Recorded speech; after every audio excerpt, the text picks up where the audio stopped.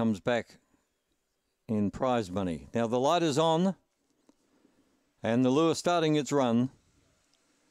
Ready to race.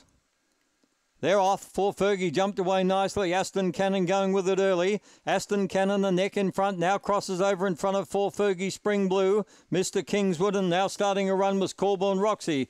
Off the back. And the leader, Aston Cannon, coming to the outside for Fergie. Went a bit wide, but is finishing powerfully. It's coming at the rate of knots. Still on the inside, Aston Cannon. It'll hold on, wins by three quarters. Second for Fergie, had every chance in the end. Spring Blue.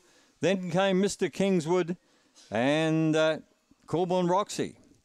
22.40, good time. Number four, Aston Cannon, rewarded for its consistency. And the amended time is quite respectable 22.36. I reckon that'd probably be a personal best. 427.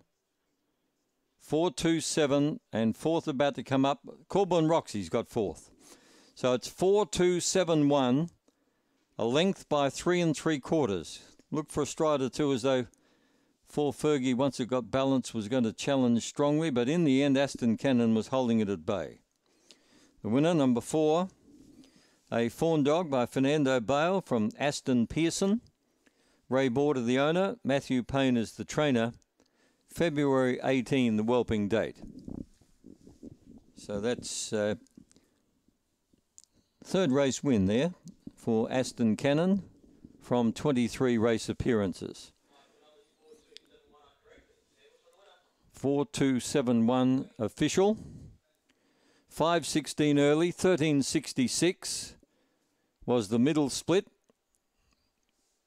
The all clear is up. We'll get the run home in a moment.